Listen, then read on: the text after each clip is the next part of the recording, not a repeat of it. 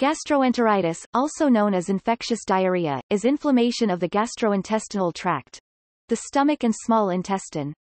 Symptoms may include diarrhea, vomiting, and abdominal pain. Fever, lack of energy, and dehydration may also occur. This typically lasts less than two weeks. It is not related to influenza though it has been called the stomach flu. Gastroenteritis is usually caused by viruses. However, bacteria, parasites, and fungus can also cause gastroenteritis. In children, rotavirus is the most common cause of severe disease. In adults, norovirus and campylobacter are common causes. Eating improperly prepared food, drinking contaminated water, or close contact with a person who is infected can spread the disease. Treatment is generally the same with or without a definitive diagnosis, so testing to confirm is usually not needed. Prevention includes hand washing with soap, drinking clean water, proper disposal of human waste, and breastfeeding babies instead of using formula. The rotavirus vaccine is recommended as a prevention for children.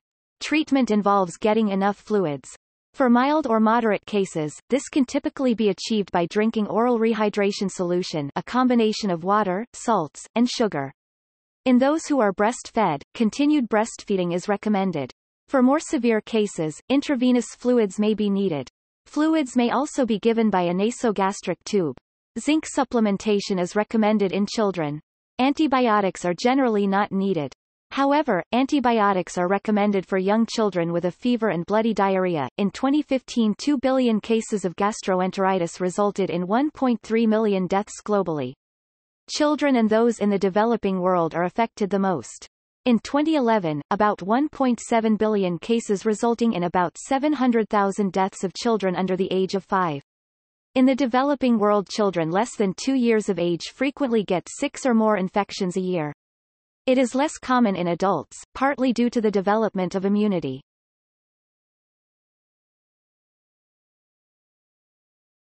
Topic. Signs and symptoms Gastroenteritis usually involves both diarrhea and vomiting. Sometimes only one or the other is present. This may be accompanied by abdominal cramps. Signs and symptoms usually begin 12 to 72 hours after contracting the infectious agent. If due to a virus, the condition usually resolves within one week. Some viral infections also involve fever, fatigue, headache, and muscle pain. If the stool is bloody, the cause is less likely to be viral and more likely to be bacterial. Some bacterial infections cause severe abdominal pain and may persist for several weeks. Children infected with rotavirus usually make a full recovery within 3 to 8 days. However, in poor countries treatment for severe infections is often out of reach and persistent diarrhea is common. Dehydration is a common complication of diarrhea. Severe dehydration in children may be recognized if the skin color and position returns slowly when pressed. This is called prolonged capillary refill and poor skin turgor. Abnormal breathing is another sign of severe dehydration.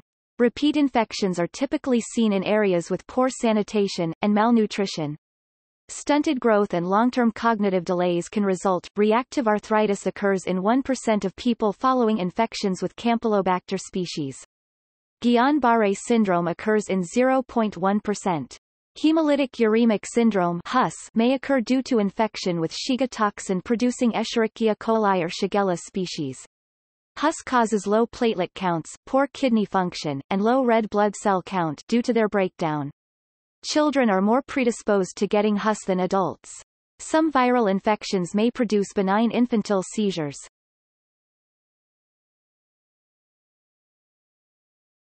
Topic. Cause Viruses particularly rotavirus and the bacteria Escherichia coli and Campylobacter species are the primary causes of gastroenteritis. There are, however, many other infectious agents that can cause this syndrome. Non-infectious causes are seen on occasion, but they are less likely than a viral or bacterial cause. Risk of infection is higher in children due to their lack of immunity. Children are also at higher risk because they are less likely to practice good hygiene habits. Children living in areas without easy access to water and soap are especially vulnerable.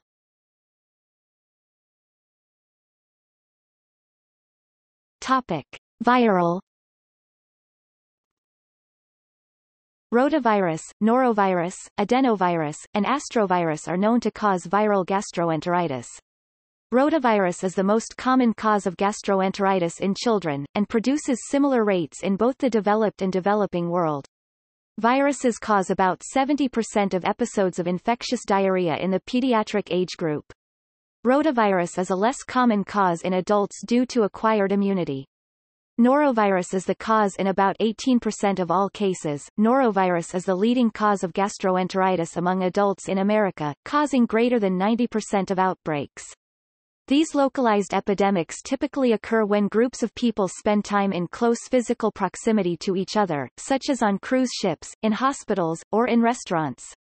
People may remain infectious even after their diarrhea has ended.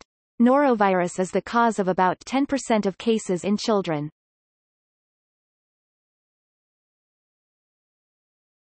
Topic. Bacterial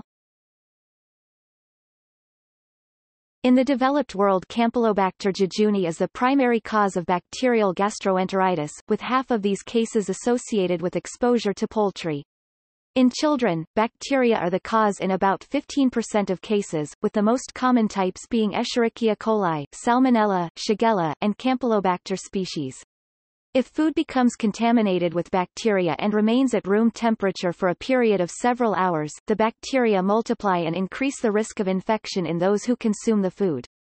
Some foods commonly associated with illness include raw or undercooked meat, poultry, seafood, and eggs, raw sprouts, unpasteurized milk and soft cheeses, and fruit and vegetable juices. In the developing world, especially sub-Saharan Africa and Asia, cholera is a common cause of gastroenteritis.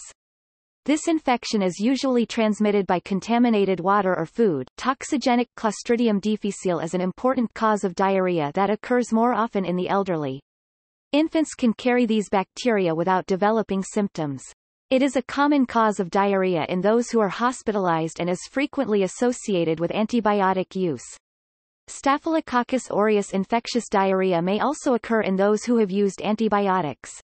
Acute traveler's diarrhea is usually a type of bacterial gastroenteritis, while the persistent form is usually parasitic. Acid-suppressing medication appears to increase the risk of significant infection after exposure to a number of organisms, including Clostridium difficile, Salmonella, and Campylobacter species.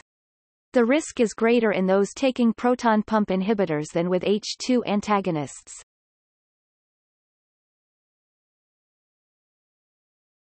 Topic. Parasitic A number of protozoa can cause gastroenteritis. Giardia lamblia is most common, but Entamoeba histolytica, Cryptosporidium spp, and other species have also been implicated. As a group, these agents comprise about 10% of cases in children. Giardia occurs more commonly in the developing world, but this type of illness can occur nearly everywhere. It occurs more commonly in persons who have traveled to areas with high prevalence, children who attend daycare, men who have sex with men, and following disasters.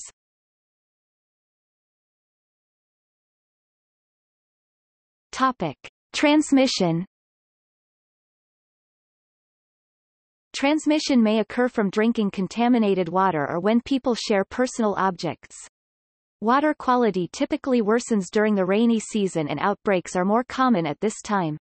In areas with four seasons, infections are more common in the winter. Worldwide, bottle feeding of babies with improperly sanitized bottles is a significant cause. Transmission rates are also related to poor hygiene, especially among children, in crowded households, and in those with poor nutritional status. Adults who have developed immunities may still carry certain organisms without exhibiting symptoms. Thus, adults can become natural reservoirs of certain diseases. While some agents such as Shigella only occur in primates, others such as Giardia may occur in a wide variety of animals.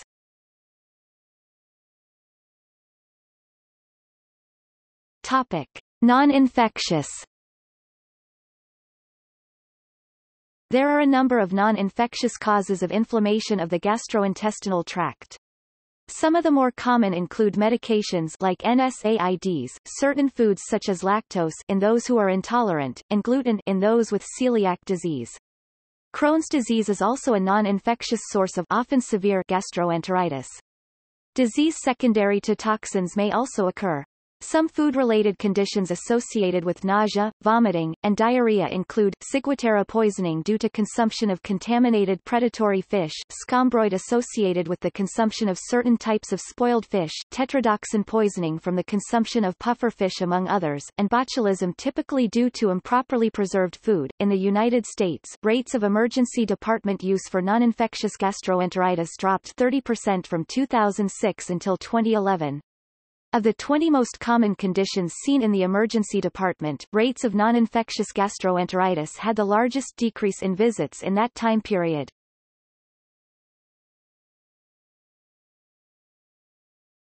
Topic. Pathophysiology Gastroenteritis is defined as vomiting or diarrhea due to inflammation of the small or large bowel, often due to infection. The changes in the small bowel are typically non-inflammatory, while the ones in the large bowel are inflammatory. The number of pathogens required to cause an infection varies from as few as 1 for Cryptosporidium to as many as 108 for Vibrio cholerae.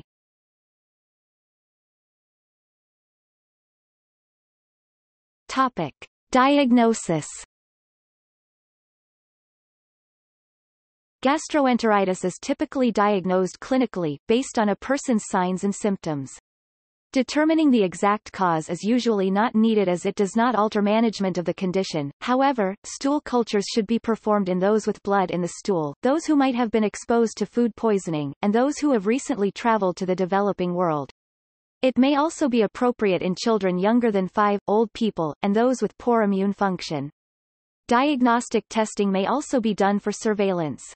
As hypoglycemia occurs in approximately 10% of infants and young children, measuring serum glucose in this population is recommended. Electrolytes and kidney function should also be checked when there is a concern about severe dehydration.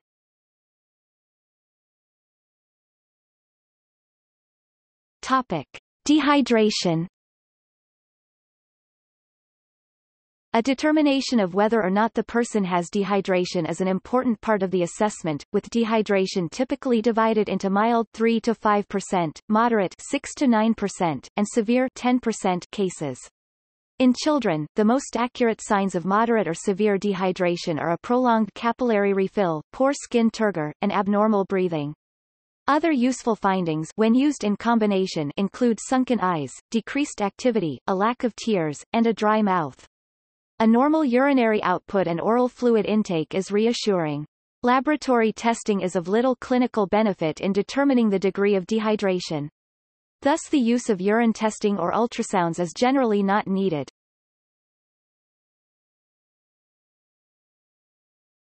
Topic. Differential diagnosis Other potential causes of signs and symptoms that mimic those seen in gastroenteritis that need to be ruled out include appendicitis, volvulus, inflammatory bowel disease, urinary tract infections, and diabetes mellitus. Pancreatic insufficiency, short bowel syndrome, Whipple's disease, celiac disease, and laxative abuse should also be considered. The differential diagnosis can be complicated somewhat if the person exhibits only vomiting or diarrhea rather than both. Appendicitis may present with vomiting, abdominal pain, and a small amount of diarrhea in up to 33% of cases. This is in contrast to the large amount of diarrhea that is typical of gastroenteritis. Infections of the lungs or urinary tract in children may also cause vomiting or diarrhea. Classical diabetic ketoacidosis DKA presents with abdominal pain, nausea, and vomiting, but without diarrhea. One study found that 17% of children with DKA were initially diagnosed as having gastroenteritis.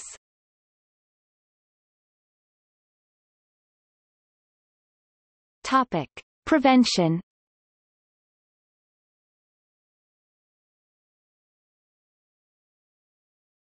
Topic. Lifestyle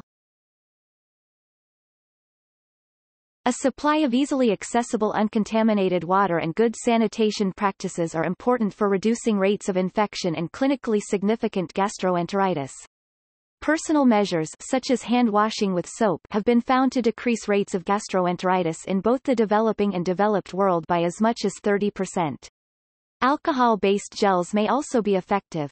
Food or drink that is thought to be contaminated should be avoided. Breastfeeding is important, especially in places with poor hygiene, as is improvement of hygiene generally. Breast milk reduces both the frequency of infections and their duration. Topic. Vaccination Due to both its effectiveness and safety, in 2009 the World Health Organization recommended that the rotavirus vaccine be offered to all children globally. Two commercial rotavirus vaccines exist and several more are in development.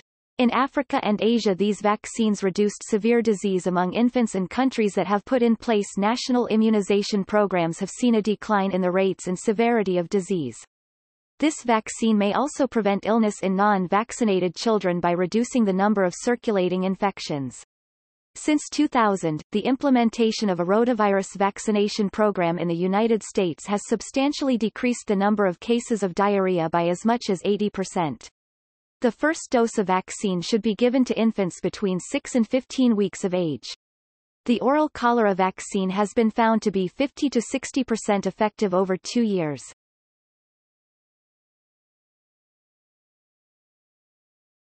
Topic. Management Gastroenteritis is usually an acute and self-limiting disease that does not require medication. The preferred treatment in those with mild to moderate dehydration is oral rehydration therapy ORT. For children at risk of dehydration from vomiting, taking a single dose of the anti-vomiting medication metoclopramide or ondansetron may be helpful, and butylscopolamine is useful in treating abdominal pain.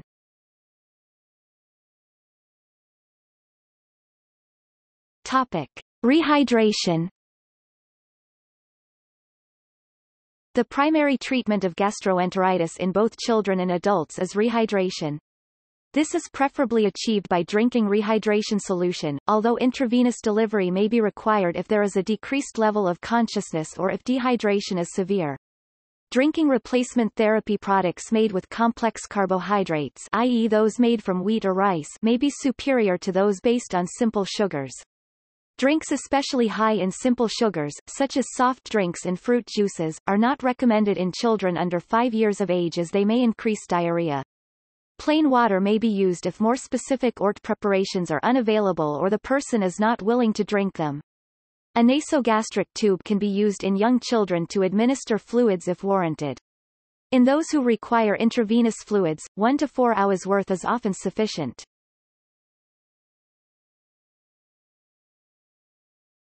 Topic. Dietary It is recommended that breastfed infants continue to be nursed in the usual fashion, and that formula-fed infants continue their formula immediately after rehydration with ORT. Lactose-free or lactose-reduced formulas usually are not necessary. Children should continue their usual diet during episodes of diarrhea with the exception that foods high in simple sugars should be avoided. The brat diet bananas, rice, applesauce, toast and tea is no longer recommended, as it contains insufficient nutrients and has no benefit over normal feeding. Some probiotics have been shown to be beneficial in reducing both the duration of illness and the frequency of stools. They may also be useful in preventing and treating antibiotic-associated diarrhea. Fermented milk products such as yogurt are similarly beneficial. Zinc supplementation appears to be effective in both treating and preventing diarrhea among children in the developing world.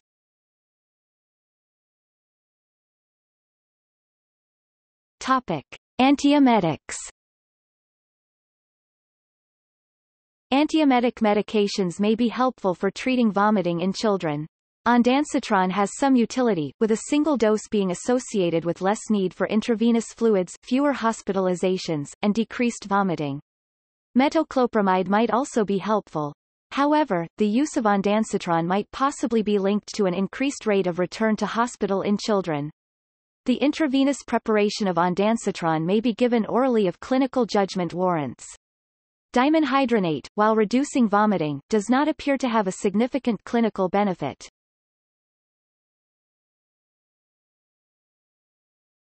Topic. Antibiotics Antibiotics are not usually used for gastroenteritis, although they are sometimes recommended if symptoms are particularly severe or if a susceptible bacterial cause is isolated or suspected. If antibiotics are to be employed, a macrolide such as azithromycin is preferred over a fluoroquinolone due to higher rates of resistance to the latter. Pseudomembranous colitis, usually caused by antibiotic use, is managed by discontinuing the causative agent and treating it with either metronidazole or vancomycin. Bacteria and protozoans that are amenable to treatment include Shigella Salmonella typhi, and Giardia species. In those with Giardia species or Entamoeba histolytica, tinidazole treatment is recommended and superior to metronidazole. The World Health Organization WHO recommends the use of antibiotics in young children who have both bloody diarrhea and fever.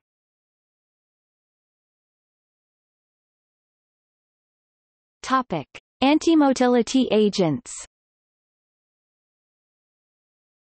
Antimotility medication has a theoretical risk of causing complications, and although clinical experience has shown this to be unlikely, these drugs are discouraged in people with bloody diarrhea or diarrhea that is complicated by fever. Loperamide, an opioid analog, is commonly used for the symptomatic treatment of diarrhea.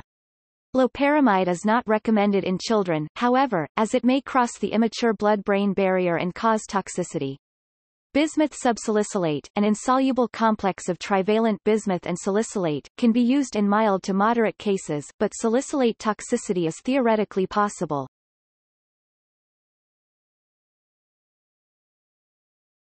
Topic. Epidemiology It is estimated that there were 2 billion cases of gastroenteritis that resulted in 1.3 million deaths globally in 2015. Children and those in the developing world are most commonly affected. As of 2011, in those less than 5, there were about 1.7 billion cases resulting in 0.7 million deaths, with most of these occurring in the world's poorest nations. More than 450,000 of these fatalities are due to rotavirus in children under 5 years of age. Cholera causes about 3 to 5 million cases of disease and kills approximately 100,000 people yearly. In the developing world, children less than two years of age frequently get six or more infections a year that result in significant gastroenteritis. It is less common in adults, partly due to the development of acquired immunity. In 1980, gastroenteritis from all causes caused 4.6 million deaths in children, with the majority occurring in the developing world. Death rates were reduced significantly to approximately 1.5 million deaths annually by the year 2000, largely due to the introduction and widespread use of oral rehydration therapy.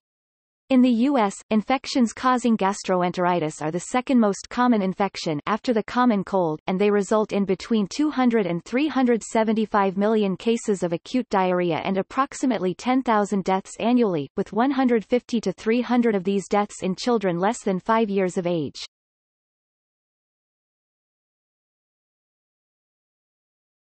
Topic. History The first usage of gastroenteritis was in 1825. Before this time it was commonly known as typhoid fever or cholera morbus, among others, or less specifically as griping of the guts, surfeit, flux, colic, bowel complaint, or any one of a number of other archaic names for acute diarrhea. Cholera morbus is a historical term that was used to refer to gastroenteritis rather than specifically cholera.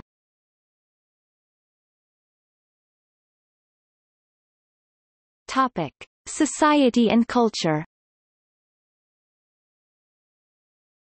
Gastroenteritis is associated with many colloquial names, including Montezuma's Revenge, Delhi Belly, La Turista, and Backdoor Sprint among others. It has played a role in many military campaigns and is believed to be the origin of the term, no guts no glory. Gastroenteritis is the main reason for 3.7 million visits to physicians a year in the United States and 3 million visits in France. In the United States gastroenteritis as a whole is believed to result in costs of 23 billion United States dollars per year with that due to rotavirus alone resulting in estimated costs of 1 billion United States dollars a year.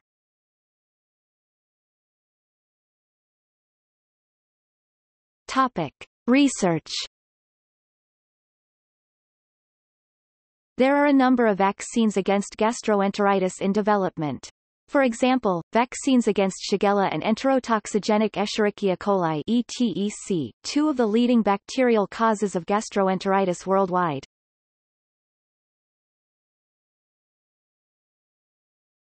Topic. Other animals Many of the same agents cause gastroenteritis in cats and dogs as in humans. The most common organisms are Campylobacter, Clostridium difficile, Clostridium perfringens, and Salmonella. A large number of toxic plants may also cause symptoms, some agents are more specific to a certain species. Transmissible gastroenteritis coronavirus TGEV occurs in pigs resulting in vomiting, diarrhea, and dehydration. It is believed to be introduced to pigs by wild birds and there is no specific treatment available. It is not transmissible to humans.